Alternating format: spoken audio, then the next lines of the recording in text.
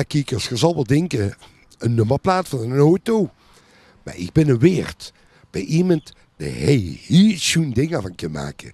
Je gelooft het niet. Kom, ik ga het schuin naar binnen met iemand.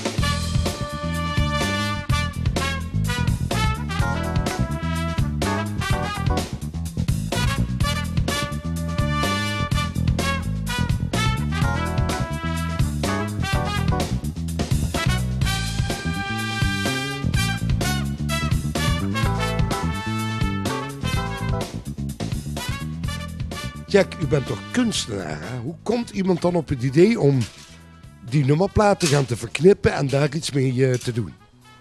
Nou, dat is al eh, ontstaan een jaar of zes geleden. In precies te zijn 2007. Want toen was ik eigenlijk voornamelijk schilder.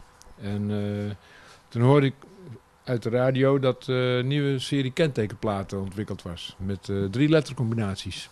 En ze vertelden daar meteen bij dat er een heel dik boek was met drie, drie letterwoorden die daar niet op voor zouden komen. Hè. Ik denk, nou, die zet ik allemaal op één auto.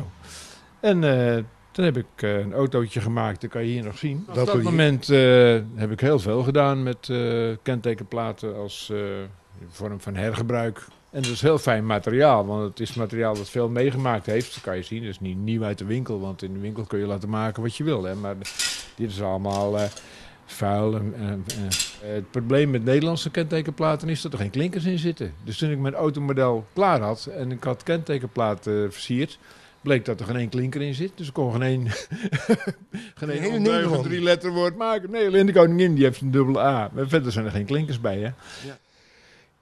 Jack, dit is het eerste exemplaar wat je gemaakt hebt. Ja, en je ziet wel dat eh, ontbreken van klinkers heb ik hier opgelost met, met cijfers, met nullen en enen en andere leesbare getallen die in een woord gaan passen. En eh, toen die klaar was, heb ik hem ingezonden voor de Dutch Design Award in de afdeling vrije vormgeving. En er waren toen 560, 61 inzenders. En verdomd werd hij genomineerd bij de laatste 35. En hij ging zelf naar Seoul, naar Swirl's Best Design. Ik denk, nou, dat is een mooie start voor mijn eh, autoproductie. dus dat was toen de eerste van inmiddels tien van die auto's. En eh, een van de laatste staat daar. Daar heb ik, Dit is een auto met, waar spreuken op staan. maar dat zijn allemaal van die krachttermen die je op de grote weg te horen krijgt als je je misdraagt. Dat is een wegmisbruikersauto. ja, wegmisbruikers, ja.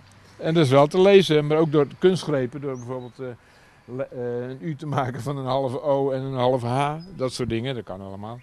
Maar dan kan je goed lezen wat er staat. En hoe lang werk je op zoiets? Ja, nou, die eerste ben ik drie maanden bezig geweest.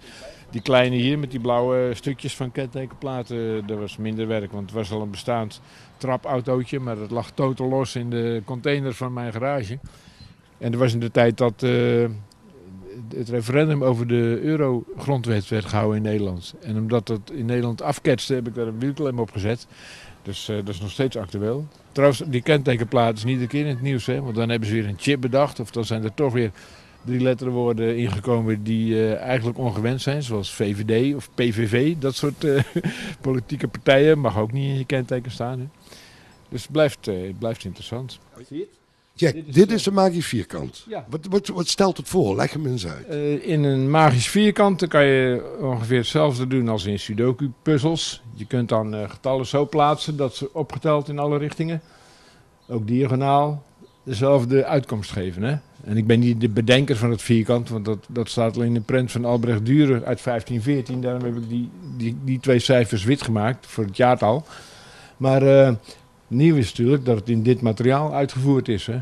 En eh, zo heb ik er nog eentje, die is ruimtelijk.